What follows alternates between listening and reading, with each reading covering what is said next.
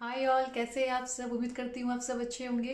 तो आज का जो वीडियो है, वो बहुत ही रिक्वेस्टेड वीडियो है। मुझे बहुत लोगों ने कमेंट्स किया है, पूछा है कि आप अपनी बेबीज़ के लिए क्या प्रोडक्ट्स एंड एसेंशियल्स यूज़ करते हो तो आप शेयर करो हमारे साथ। तो मुझे भी बहुत मन था ये वीडियो बनाने का। मैं चाहती थी मैं शेयर करूँ और आप लोगों को बताऊँ, क्योंकि बहुत सारी न्यू मॉमीज़ है जिनको आइडिया नहीं होता कि क्या खरीद कर रखना है, पहले से क्या नहीं रखना है। तो उम्मीद करती हूँ आपको ये वीडियो देख के बहुत सारे आइडियाज़ मिल जाएँगे और आप प्रिपेयर रहोगे। बेबी के आने से पहले आप सारी तैयारी कर, तैयारियाँ करके बैठोगे तो बहुत आसान हो जाएगा आपके लिए। तो मेरे पास जो प्रोडक्ट्स मैं यूज़ करती हूँ और जो इसेंशियल्स है मेरे पास, सारी चीज़ें मैं आपको दिखाऊँगी। जो मैं, जो भी मैं बेबी के लिए यूज़ करती हूँ, मैं भी शेयर करूँगी आपके साथ। और डिस्क्रिप्शन बॉक्स में मैं लिंक भी डाल दूँगी तो आप लोगों को ईजी होगा। अगर आप चाहें तो वहाँ से परचेज़ भी कर सकते हैं। तो मैं अब अभी का वीडियो शुरू करती हूँ। बनी रहिए मेरे साथ। तो मैं यहाँ सारा सामान लेकर बैठी हूँ। देखिए।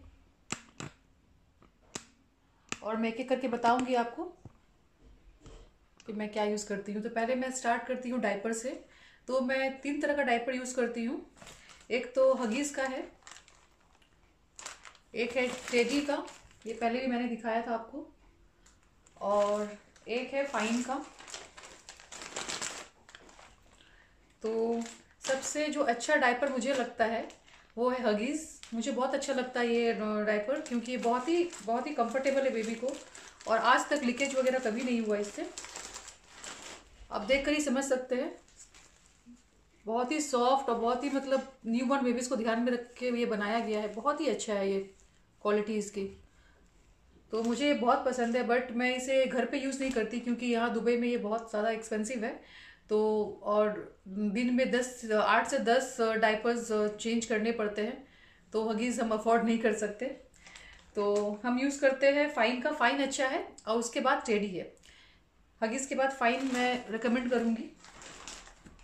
ये है फ़ाइन का डाइपर इसकी क्वालिटी भी अच्छी है। बट हगीज़ जैसा नहीं है। हगीज़ का क्वालिटी देखिए। देख कर ही समझ में आएगा आपको। और ये है टेडी का डाइपर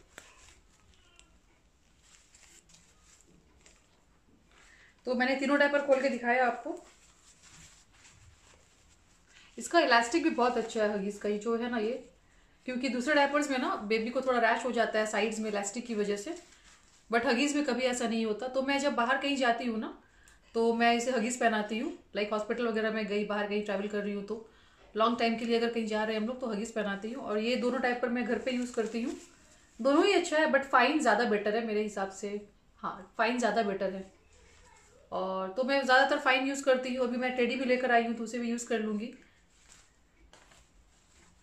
तो ये तो हो गया डायपर के बारे में बात। अब बात करेंगे रैश क्रीम की। बहुत सारे मैसेजेस आते हैं मुझे कि आप कौन सा रैश क्रीम यूज़ करते हैं बेबी के लिए। तो मैं आपको बता दूँ, मैं यूज़ करती हूँ ये वाला रैश क्रीम सूडो क्रीम है ये। ये बहुत अच्छा है। एक बार मीशू को हुआ था रैश उसके बाद से हमने ये स्टार्ट किया। ये डॉक्टर रिकमेंडेड ही है डॉक्टर ने हमारा जो मीशो की डॉक्टर है, उसने बताया था हमें। तो हम ये वाला यूज़ करते हैं। उसके बाद से आज तक उसे कोई प्रॉब्लम नहीं हुआ। और इसका नाम है सूडो क्रीम इंडिया में पता नहीं अवेलेबल है या नहीं, यहाँ तो मिलता है। तो ये डॉक्टर रिकमेंडेड है। तो ये तो हो गया रैश क्रीम अब मैं लोशंस एंड वो बॉडी वॉश वगैरह क्या यूज़ करती हूँ, मैं वो आपको दिखा देती हूँ। ये है क्लिनजिंग जेल मुस्टेला का। क्योंकि मैंने ये देखा था वहाँ पे हॉस्पिटल में, बच्चे को जब बात दे रहे थे ना, जब अलीज़ा को नहलाया जा रहा था तो ये यूज़ किया था उन लोगों ने। तो फिर मैंने डॉक्टर से ही पूछा, क्या सेफ़ है इसे यूज़ करना? तो उन्होंने कहा हाँ सेफ़ है। और साथ में ये लोशन भी है। बट इससे ड्राइनेस होता है थोड़ा बहुत। ऐसा नहीं है बिल्कुल ड्राइनेस नहीं होता। हल्का सा ड्राइनेस होता है स्किन में, क्योंकि शायद न्यू बॉर्न बेबी है ना तो न्यू बॉर्न बेबी के स्किन में बहुत पतला होता है उनका स्किन तो डेलिकेट होता है शायद इसलिए। ड्राइनेस तो होता है हल्का सा। तो ये है। और मैं फेस पे नहीं लगाती सिर्फ़ बॉडी पे और हेयर पे लगाती हूँ। फेस तो मैं सिर्फ़ प्लेन पानी से उसका वॉश करती हूँ। मतलब पोज देती हूँ। और ये लोशन बहुत अच्छा है लेकिन ये बहुत अच्छा है। अगर आप एक आ, मैं तो दो दिन छोड़कर जब नहलाती हूँ तभी मैं यूज़ करती हूँ लोशन वरना मैं यूज़ नहीं करती। और बहुत अच्छा मॉइस्चराइज करता है बॉडी को। तो हो गया लोशन एंड ये बादिंग क्रीम बादिंग जेल अब वेट पाइप्स मैं आपको दिखा दूँ। मैं वेट पाइप्स हगीज का यूज़ करती हूँ। बहुत अच्छा है ये। हगीज में जो वाटर कंटेंट होता है ना टिश्यू में ज़्यादा है इसमें। Comparing to other wet wipes इसमें ज़्यादा वाटर कंटेंट होता है वाइप्स का। तो ये बहुत अच्छी चीज़ है। और ये भी मैं यूज़ करती हूँ। ये तो मुझे गिफ्ट मिला था। मेरे हस्बैंड के फ्रेंड ने दिया था, और हगीज़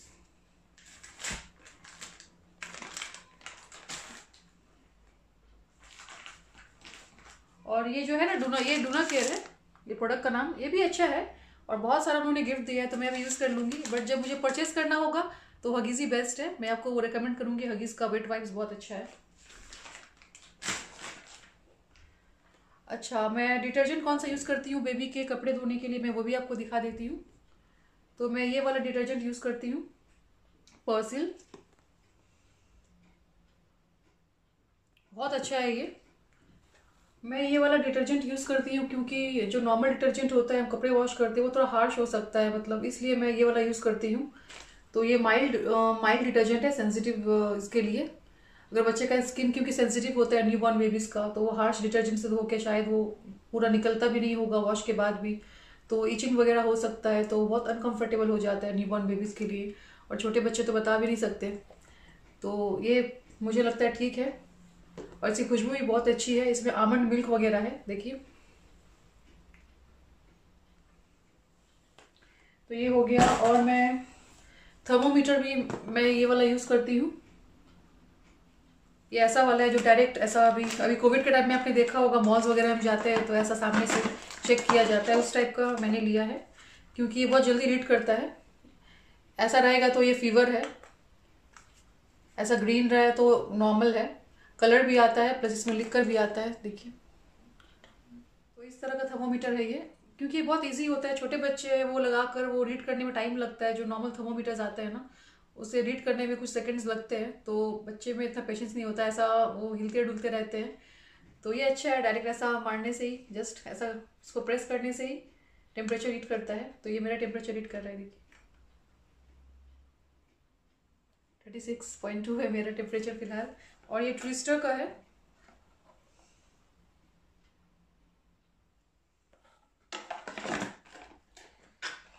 ये तो हो गया थर्मोमीटर। और कुछ मसलिन क्लोथ्स मैं यूज़ करती हूँ वो मैं दिखा दूँ आपको। ये मसलिन क्लोथ्स मैंने मंगाया ऑनलाइन। ये मैंने कुछ दिन पहले ही मंगाया है क्योंकि जब अलीज़ा हुई थी तो विंटर का टाइम था तो मैं मोटे वाले जो ब्लैंकेट्स होते हैं ना वो सब यूज़ करती थी स्वेडल ब्लैंकेट्स। मैं दिखाती हूँ आपको। और इस तरह के ब्लैंकेट्स मैं यूज़ करती थी। अभी लेकिन विंटर समर आ गया है ना तो ये सब में गर्मी होती है उसे। ये सारे मैं यूज़ करती थी उसे लपेटने के लिए। स्वेडल ब्लैंकेट से और कुछ नॉर्मल ऐसे ही ऊपर से कवर करने के लिए बेबी को। और ऐसा कुछ कॉटन ब्लैंकेट्स भी है, पतले वाले। और बट अभी थोड़ी गर्मी ज़्यादा बढ़ रही है तो उसे पसीना बहुत आता है।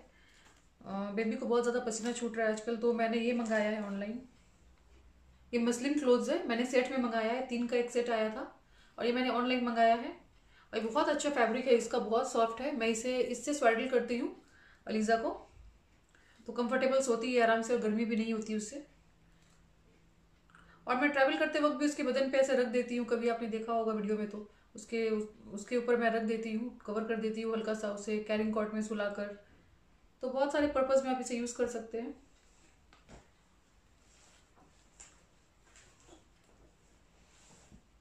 और ये चेंजिंग शीट ये तो मुझे हॉस्पिटल से मिला था। और बहुत काम आ रहा है मुझे। डायपर वगैरह चेंज करते वक्त इसे आराम से बेबी को आराम से आप इसमें लेटा दो, फिर आराम से वो आप डायपर वगैरह चेंज कर सकते हो। और कुछ डिस्पोजेबल शीट्स भी है मेरे पास। ये तो मुझे हॉस्पिटल से मिला था, ये भी। तो कुछ तो मैंने यूज़ करके फेंक दिया है, कुछ ऐसा है अभी भी। तो ये सब अभी भी चल रहा है, जो मुझे हॉस्पिटल से मिला था।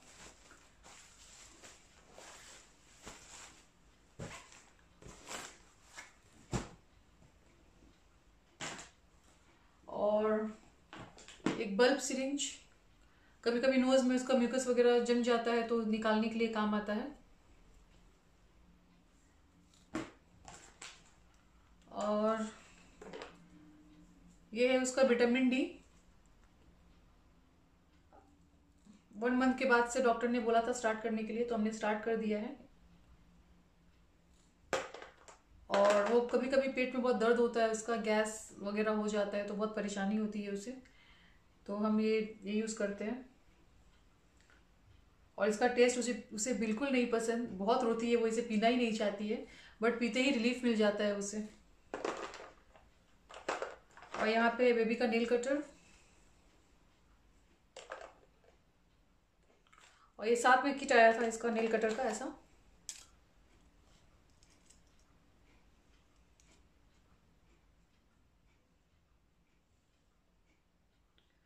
ये सेट आया था। तो मुझे तो अभी भी डर लगता है उसका नेल कट करने में। मेरे तो हाथ कांपते हैं अभी भी। तो मैं काट नहीं पाती, उसके पापा ही काटते हैं। और ये कुछ वॉश क्लोथ्स है। कभी मैं उसे स्पंज बात देती हूँ ना तो इससे मैं उसे, ये बहुत सॉफ्ट है कपड़ा, बहुत अच्छा है। और ये भी मुझे हॉस्पिटल से ही मिला था तो अभी भी चल रहा है। और दो है बाथरूम में मैंने यूज़ किया है तो अंदर रखा हुआ है। तो ये हो गया। और बहुत अच्छा है, कभी आपको ऐसा उसका मुँह पोछना है दूध दूध गिर जाता है मुँह से तो हल्का गीला करके कपड़ा पोछना पड़ता है तो उसमें मैं ये यूज़ करती हूँ। और कपड़े ये सारे ऑन्सीज है जो भी मैं यूज़ कर रही हूँ। ये समर के लिए बहुत अच्छा है इस तरह कपड़ा। और कुछ गंदे हैं। और ये है रॉन्ग स्लीप सूट उसका। ये रॉम्पर्स है और पीछे स्लीप सूट्स है। ये सारे।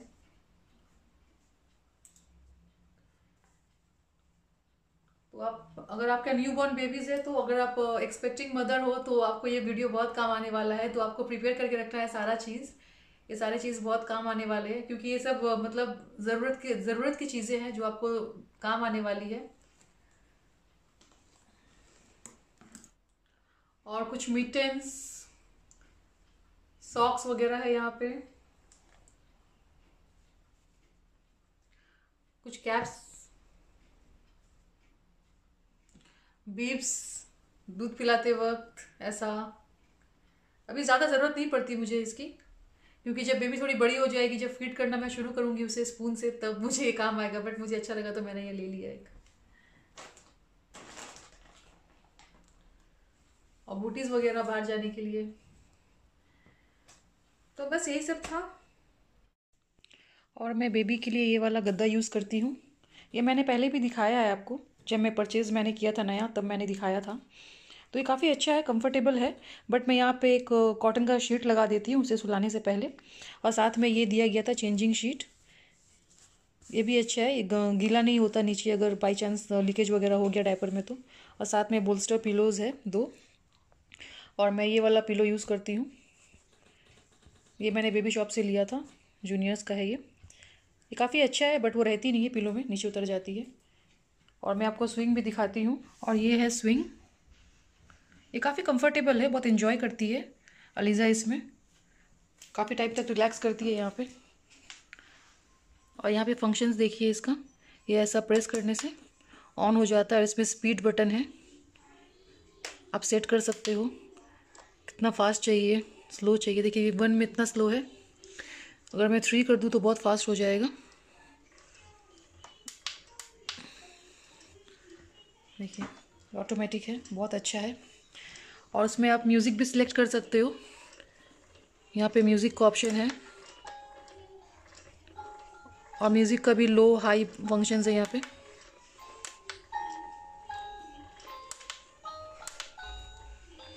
और रिड्यूस भी किया जा सकता है। ऐसे टाइमर भी सेट कर सकते हो आप। कितने टाइम तक चाहिए आपको? फिर वो ऑटोमेटिक बंद हो जाता है। तो काफ़ी अच्छा है ये और काफ़ी रिलैक्स करती है। मज़ा आता है उसे स्विंग में यहाँ पे। तो कभी जाग भी रही होती है ना तो मैं ऐसे लिटा देती हूँ तो इन्जॉय करती है।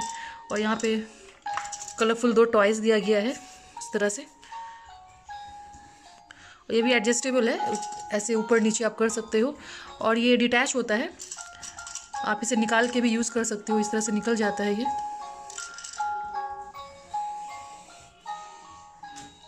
और मुझे काफ़ी अच्छा लगता है। बाब और बेबी काफ़ी इन्जॉय करती है इसमें। बहुत मज़ा आता है उसे। और ये है बेबी का कार सीट काफ़ी कंफर्टेबल है ये और हम इसे एज आ कैरिंग कॉट भी यूज़ कर सकते हैं। मतलब बेबी को लेटाकर हम इसमें ऐसा हैंडल एडजस्टेबल हो जाता है तो हम ऐसा उठाकर उसे ले जाते हैं। आपने देखा होगा मेरे वीडियो में। और एज अ रॉकर भी आप यूज़ कर सकते हैं, ऐसा रॉक होता है ये। तो थ्री इन वन है और ये भी काफ़ी अच्छा है। मैंने पहले भी दिखाया आपको जब मैंने अनबॉक्स किया था, जब मैं नया लेकर आई थी। तो बस यही सब है। और मुझसे किसी ने पूछा है कि बेबी के लिए स्विंग सेफ़ है क्या? मतलब कंफर्टेबल होता है क्या? तो मैं जो स्विंग यूज़ करती हूँ, वो तो गिफ्ट है गिफ्ट दिया गया है मुझे। तो लेकिन काफ़ी कंफर्टेबल है, लेकिन मैं बहुत टाइम तक उसे उस पर नहीं छोड़ती झूले पे। जस्ट जब जब उसे नींद आती है ना तो थोड़ा मैं उसे रख देती हूँ, फिर वो सो जाती है। फिर बीस पच्चीस मिनट के बाद मैं उसे वहाँ से उठा के वापस उसके बेड पे रख देती हूँ। तो उससे कोई प्रॉब्लम नहीं होता। और स्विंग काफ़ी कंफर्टेबल है, कोई प्रॉब्लम नहीं है तो आप यूज़ कर सकते हो। अभी अलीज़ा टू मंथ्स की भी नहीं हुई है, और आपकी baby two and two point five months की आपने बताया। तो आप यूज़ कर सकते हो, कोई प्रॉब्लम नहीं है। और मुझसे बहुत सारे लोगों ने पूछा है कि अलीज़ा ब्रेस्ट फिट पे है या फिर आप उसे फॉर्मूला फिट कर रहे हो? तो मैं आपको बता दूँ कि वो जब जॉन्डिस उसे हुआ था ना, तभी मैंने तीन दिन उसे फॉर्मूला दिया था। उसके बाद से वो एक्सक्लूसिवली ब्रेस्ट फिट पे ही है। मैं उसे ब्रेस्ट फिट ही करती हूँ। और वो जॉन्डिस होने की वजह से मैंने उसे फार्मूला दिया था, क्योंकि डॉक्टर ने मुझे बोला था कि जितना ज़्यादा वो पॉटी पेशाब करेगी, उतना जल्दी उसका, उसके बॉडी से जॉन्डिस एलिमिनेट होगा, निकल जाएगा। तो उस टाइम मेरा प्रॉब्लम ये था कि ब्रेस्ट मिल्क मतलब मेरा मिल्क इतना ज़्यादा होता था मिल्क फ्लो इतना ज़्यादा था कि वो काफ़ी छोटी थी न्यू बॉर्न थी तो वो हैंडल नहीं कर पाती थी।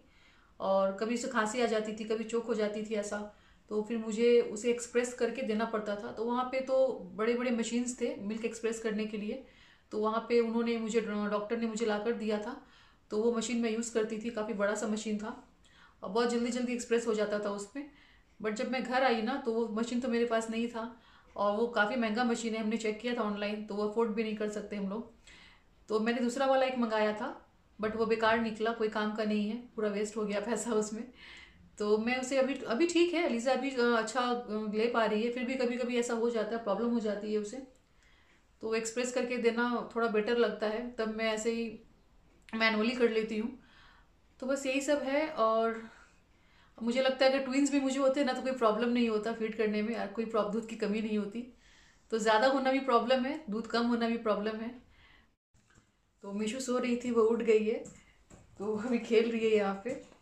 और मुझे बहुत लोगों ने बोला है कि इसका सर हमें, हमेशा साइड में क्यों रहता है? कभी लेफ़्ट में रहता है, कभी राइट में रहता है। तो इसको अब आदत ही नहीं है सीधा सर रखने की। जब सोती है ना कंप्लीट डीप स्लीप में जाती है तो मैं रात में सिर्फ़ ऐसा रख देती हूँ, क्योंकि इसको हैबिट हो गया। फ़र्स्ट वन मंथ हम साइड वाइज ही रखते थे। डॉक्टर ने डॉक्टर ने बोला था ना, आपको पता होगा अगर आप मुझे फॉलो करते हो तो। फ़र्स्ट वन मंथ डॉक्टर ने बोला था साइड में ऐसा सर रखने के लिए। तो हम वैसे ही रखते थे तो अभी इसकी आदत हो गई है। या तो लेफ़्ट रखेगी या तो राइट रखेगी, वो ऐसा सर रखने की आदत ही नहीं है इसे। और पिलो में रखती हूँ ना तो पिलो में रख के भी फ़ायदा नहीं है। पिलो से वो नीचे उतर जाती है। वो अभी सर्कल घूमती है, सर के बली वो घूमती है। अगर आप मैं ऐसे ऐसे रखे जाऊँगी ना, थोड़ी देर बाद आकर देखूँगी वो ऐसे लेटी हुई है। मतलब हॉरिजेंटल अगर रखी तो वर्टिकल हो जाएगी वर्टिकल रखूँ तो हॉरिजेंटली लेटी लेटी हुई मिलती है मुझे वो। तो अभी से बदमाशी करने लगी है, बहुत बदमाश हो गई है। मिचू मिचू मिचू। बदमाश हो गई हो ना? बदमाशी करती हो ना? हाँ हाँ बदमाशी करती हो ना? और अटेंशन सीकर है इससे बात करो इससे जितना बात करो, इसे अच्छा लगता है। बस चाहती है लोग इसे अटेंशन दे, इससे बातें करते रहे। है ना मिशू? है ना? आपको अच्छा लगता है ना कोई बात करे आपसे? हाँ बोलो।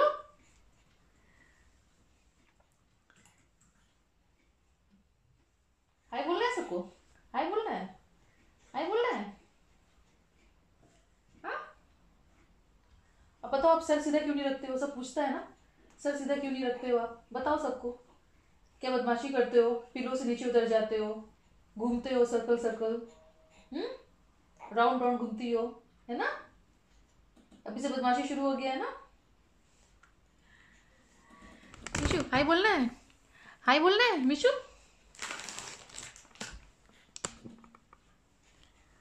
हाँ हाँ हाय बोलो हाय बोलो, सबको हाय बोलो। देखो, ज़ोर ज़ोर से हाय बोलो। हाय, इधर देखो इधर देखो। ये देखो।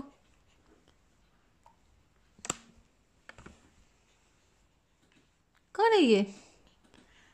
कौन है ये? ये बच्चा कौन है? हाँ? क्या बोली? हाँ? कौन है? कुछ तो बोलना चाह रही है ये। बोलो आई मलीजा आई मलीजा आई मलीजा पैर इस तरफ़ रखो उस तरफ़ पैर नहीं रखते। इस तरफ़ रखो पैर को। हम्म, अभी ठीक है। अभी सारे सामान मुझे समेट के वापस अंदर रखना है। मैंने सब बाहर निकाला था आप लोगों को दिखाने के लिए। है ना? मीशू क्या क्या यूज़ करती है? मीशू क्या यूज़ करती है? क्या यूज़ करती है? सब बता दिए हम सबको। हाँ सब बता दिए हम सबको। हाँ हाँ। क्या, हवा में स्विमिंग हो रहा है या फ्लाइंग हो रहा है? क्या है ये? हाँ? हाँ? अली नफी सामने आती हो तो अली नफी को एक किक कर देती हो। किस करने आती है तो किक कर देती हो। हाँ? इतनी ज़्यादा बदमाशी। देखो देखो देखो देखो देखो। मम्मा को मार रही है। हम्म? मम्मा को मार रही हो। कौन है ये? खुद को देख रही है। कौन है ये बेबी कौन है ये बेबी हाँ? कौन है ये बेबी कैसे मार रही देखिए मुझे। कौन है ये बेबी हाँ कौन है ये? ये मीचू है? ये मीचू है? ये मेरी मीचू है?